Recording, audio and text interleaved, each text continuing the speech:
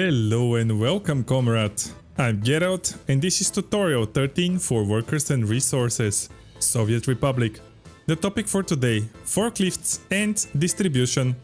In case you missed the previous tutorials, the link with the playlist is in the description of the video. Now, let's forklift and distribute. Build a warehouse to expand factory storage. If a factory runs out of storage, you can expand its storage capacity by purchasing additional storage buildings and connecting them using factory connections, conveyors or pipelines. When a vehicle comes to the factory, it still will be able to load materials from the neighboring building even if it's only connected to the factory. If connected to multiple storage buildings, the factory will choose the one that contains fewer products. Everything makes complete engineering sense as you can imagine already with this game. Okay, so let's see what we are going to do today. Warehouse. Okay, warehouse. Perfect work, comrade. So we are going to connect it to this food factory. Alright, let's do that. Remove the conveyor to fix the chain. Storage buildings are passive unlike factories. They cannot push or pull resources from neighboring buildings on their own. Ah, okay, so that's another thing that we're going to do. So here we are getting the food already from the food factory because the... No, actually the, the warehouse here is not full, but I guess it's going to start getting full once this warehouse is full which makes sense. So first it tries to uh, fill the outside warehouse and then it's going to fill up this one if it's connected to an outside one. Okay, so what are we going to do here? Cancel the conveyor connection. Good work, comrade. To move resources between storages or any other buildings, you can place conveyor engines which can take resources from input buildings and move them to output buildings. Ah, so the lesson here was that this direct connection that we just destroyed is not going to pull the resources automatically. We need to use a conveyor engine for transferring that.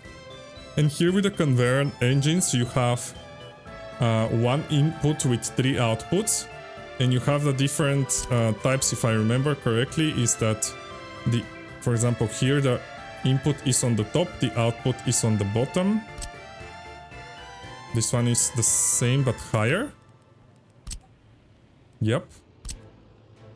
And this one is kind of in the middle. Right? Yes.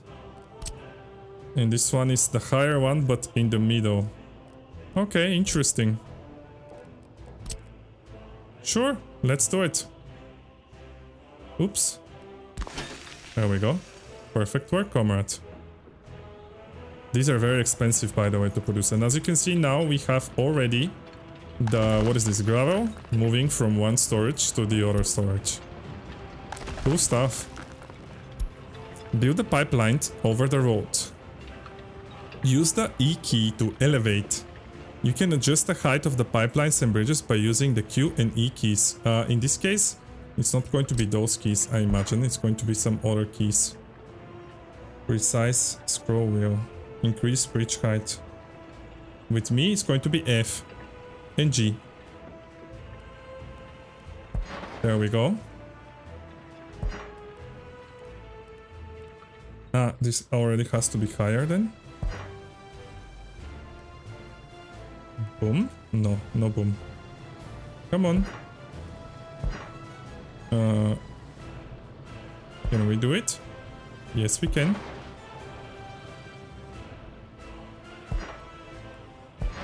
There we go. And we have the same thing for pipelines as you can see here. It's super similar to what we saw previously for the conveyors, but it's for pipes. Build a forklift garage. If you have a similar situation with stored resources that cannot be pushed by conveyors or pipelines, you can use forklifts to do the job. So, when you don't have, when it's not um, um, some kind of an oil or liquid, or an aggregate uh, material, which is um, gravel, stone coal, all the ores, bauxite, or uranium ore. These are the aggregates. then you have to use forklifts. And in the majority of cases is for warehouse products, if not for all cases. And also open warehouse, um, open storage, sorry, where you have like steel and things like that as well, I think. Uh, where are we going to put it? Okay, here. Let's see. Okay, so now we have a forklift connection between this... Purchase a forklift. Between this open storage and this open storage. And unless we buy a forklift here...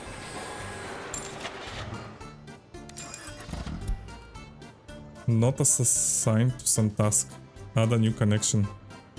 Now select the source building. This is where the forklift will load resources to be relocated. Update load and load checkbox as needed. So here... What is this? Storage percent. Unload. Aha, so we're just going to load from here. And we're going to unload in the other one. You're doing great. Ah, until the percentage is, what, less than 30?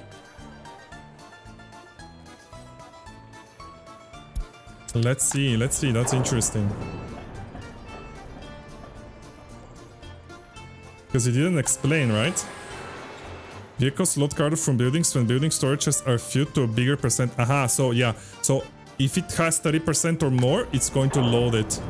So we should see it very soon to stop loading. Or the idea is that this one has to be at 10%. But we are already taking the boards by these um, trucks here. Yeah, I guess the idea then is that this one has to be at 30%. Because this one is already below 30%. Ah, no. I was wrong. Let's see. Field, 31%. Let's see. 30.76. We could have bought another one to make things faster. I cannot. I don't have money or I'm not allowed. Which one is it? 3023. Okay, I guess on the next one we will know for sure. 2970. Delivered and I was going to go back to the office. Yes. Okay, so uh, the percentage... Sorry. The percentage here is the percentage of the incoming building, of the input building. Very good to know. Ah, and you can also control this percentage here, obviously. Oh my god. Okay, build a distribution office. Oh, these are very, very important, actually. You can use the existing road network and set up a distribution office which will automatically operate trucks according to the actual situation in your production chains. This building is great for distributing goods to shops. We have small distribution office and a train distribution office. Oh, that's nice. I didn't know that now we have two of them. Has a, rail connection, of course. Here we have a small, medium, and a free one. We will build a small one today. Good work, comrade. The distribution office is a very, very important building because it's going to Automatically distribute resources where they are needed. Purchase a truck for the distribution office. You're doing great, comrade. Send an existing truck to work for the distribution office by using the change depot or workplace button in the vehicle interface. Don't forget, you can change the assigned building of any truck and send it to work in a different building using this button. So this is how you reassign trucks or other vehicles to work for a different type of building. Let's say from a construction office to a distribution office or construction to construction or anything like that. Select the source building for the trucks to load resources from. Choose to take resources from the food factory. You can also set the percentage. If you set for example 80% trucks will take resources from this building only if the storage where the resource is stored is filled to more than 80% of its capacity. Ah, so it works similar to the forklifts. We will have a load and load uh, situation and we will be able to choose percentages. Manage office tasks 0 out of 20. Ah, so there is a limit of the tasks that they can do. Change order, no tasks for copying, no vehicles have loaded. Cargo for unload. So we are going to be choosing this for loading. And not for unloading. Well, makes sense. So food is going to come from the food factory, obviously. Or the warehouse. Because it's connected. The destination building is going to be... The shopping center. Because we're selling food here. Select the destination building for the trucks to deliver, unload the resource to. Let's select one shopping center. Adjust the loading and unloading checkboxes as needed. You can set the percentage value. If you set it to 50%, this will tell the trucks to unload the resource only if the destination storage is filled to less than 50% of its capacity. So load works this percentage of higher, unload works this percentage or lower.